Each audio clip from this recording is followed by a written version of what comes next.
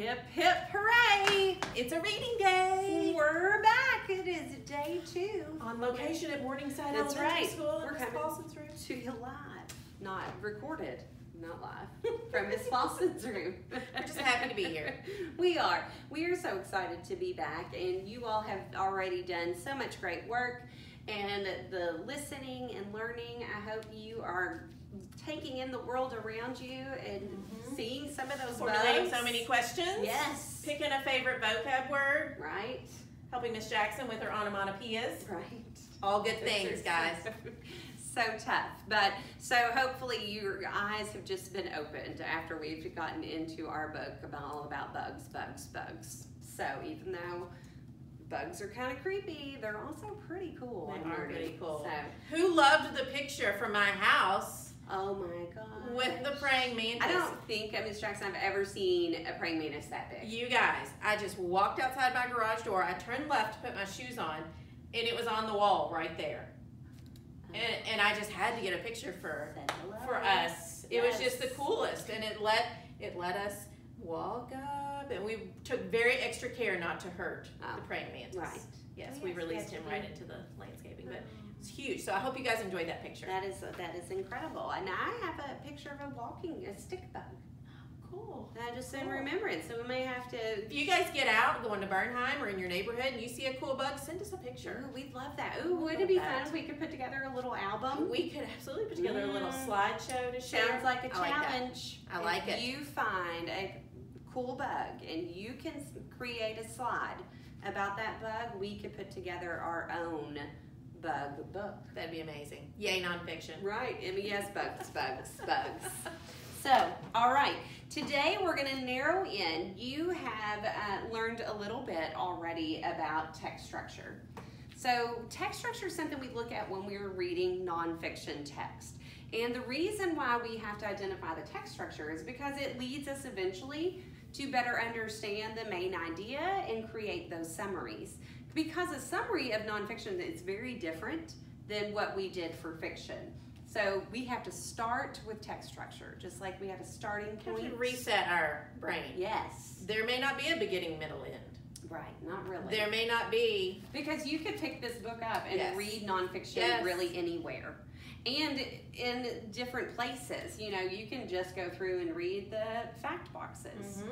You can go through and read the facts that the author includes at the end. So that's kind of what's cool about nonfiction too, is you can read it so many times in a different way every time. And still learn something new. Right, right. So, but if we were to talk about text structure, we're thinking about just how how is how the author decide to organize this. Is he organizing it in a way that first, next, then last? Or not not so much in this. We're not talking about the life cycle of bugs here. So there's different text structures as you learned from the videos. So today we're going to identify what is the structure being used here in Bugs, Bugs, Bugs. And sometimes, Miss Paulson, I have a hard time narrowing it down to just one. It is hard sometimes. You know, just one.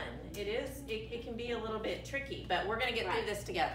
So if we really, really think about this and what the author chose to do here with Bugs, Bugs, Bugs, is he, he's truly I'll hold that up for you, Miss Paulson. You just describing. Okay, so it, the description says it's a type of text structure that describes a topic by its characteristics and features. Ding ding ding. Oh, Isn't that what's happening here? Mhm. The entire text is describing, really focusing in on two parts, two important pieces of that description. About the first is how the bugs are. Um, kind of their predatory skills, Mhm. you know, how they are attacking and find their food.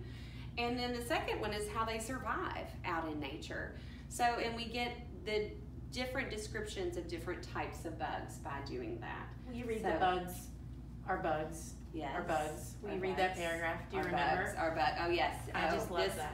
Very beginning. Sorry, it just hit me. So it starts with Yikes! Bugs look scary close up, but you don't need to worry. Most bugs are a danger only to other insects. They are the bugs that really bug other bugs. Love it. Love I it. love that. I I, love too. that so much. I do too. I love that so much. So that's kind of our jumping off point because then from there on out, it starts to describe how bugs bug other bugs. And then, because what if what if the author didn't organize it would her be, ideas, her concepts like our learning Right. target? What what if she didn't? right. It What if every page was a different topic, a different we wouldn't really get as much out of it. No, absolutely not. So that's why if you were able to attend class when we went live, we took a look at these big ideas. So, and kind of we use different graphic organizers when we're trying to organize the information, depending upon what the text Clearly Miss is. Jackson loves graphic organizers. Yes. Miss Paulson and I have to write everything out. We have to see it. Oh, I'm so We, we yes. just we're both very visual that way. It's- you may be too. right. I am, and, and absolutely, it helps me. I can't hardly do anything unless I see it I'm this the way. same way. So I'm even same when you look at our organizer that we have, it's describing our book, Bugs, Bugs, Bugs, because, and it tells you the important parts that we're describing each day. So we started out our first lesson together describing the vocabulary that we found in the story. And today we're over here describing the text structure. So this is a great example of the graphic organizer that we use when we are pulling out the important information from a text that's been structured using description. Miss Paulson, what's a text feature? Ooh, such a good I mean question. text, text, Right. structure, features. Oh, see, text features Mm-hmm. are all the cool little extras that are included in nonfiction text. So oftentimes we may begin. This book doesn't have one, but sometimes if I go to the front of the page, I'll find a table of contents. That's a really important text feature you may Mhm, find mhm. in nonfiction text. Now here I see that if these bugs are all really close up, that's a feature that the author decides to use. So that's why a is font feature. different? Mm, that's like, oh, what do you call that fancy font? Starts it's with crooked, an I. italicized.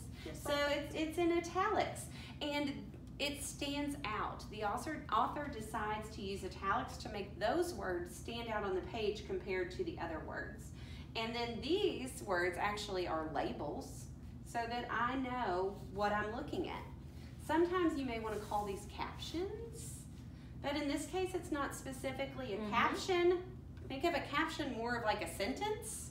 If it's just a couple of words, then it's a label. So this is telling me I now know that that's a stag beetle. And then I know that that's a dragonfly. I have to confess, when there's a text feature box, I read it first. Miss Jackson reads so it there- first before Yes, what's on so- the page. Look, here's one. Here's one. It's a gross one. Oh, it is hairy food. Hairy food. Not any food that I much prefer. It says that Kiwi. Kiwi's kind of Oh, hairy. And peaches, Yes, I guess. kind of fuzzy. Yeah, I peel them. Mhm, mhm. Uh, one kind of wasp catches huge spiders for its grubs. Oh, that was that vocab word we talked about the other day. Grubs. For its grubs. It sometimes you know what a grub takes is over the spider's home too. Oh, and then there's a picture. A Just a little, just a little extra goodness. Right. So, and there's a reason though that that fact box is included on this page. So I would have to assume that there's a connection because there's always a connection from the fact box to the rest of the text that is the main part of the passage. Our Scholastic magazines. yes. Oh, I miss those. We're going to take a look. uh, Well, we're going to take a look at those this Oh, week yay. digitally. I miss So- those, but they have amazing text Oh, features. incredible. The Scholastic magazines are Yes, the best. I have some ready to figure out which ones we're going to be working with Mhm. as we go along through text structure. So you'll be seeing those. Um, other text features that we see, lots and lots of focus on the close-ups, Mhm. which is it makes sense as you read and you've and I'm sure you've put together by now because you've listened to the story or the little see. Miss Paulson has to work on that because I will say story when I'm talking about nonfiction sometimes. Instead of text. Yes, and it is wrong, wrong, wrong. It is not a story, it is a text. So when I am reading through the text, or you have read through, you'll understand the importance of these close ups. because to understand the meaning of the text, you Mhm. have to see that close up. And these close ups allow us to better understand what we're reading. Awesome. Yes. So those are just a couple of text features. And then you'll see more in your um, Storyworks or Scholastic magazines that we'll include in your lessons. And we hope you're staying with us even if you don't like bugs. Right. Hang in there. It's kind of creepy. Don't shut us out pretty because it's about bugs, especially Right. this time of year. Get outside, find some cool bugs that you're not allergic to. Right. Um, play in the leaves. Leave them outside. Don't bring them inside No, no, unless no. you have permission. Take permission. a pic, take a picture, and send Right. it to us. Yes. All right. All right. That is awesome. All right. That's all for today. All All right. right. So Until till we, we read read again. Bye. See you later. Bye,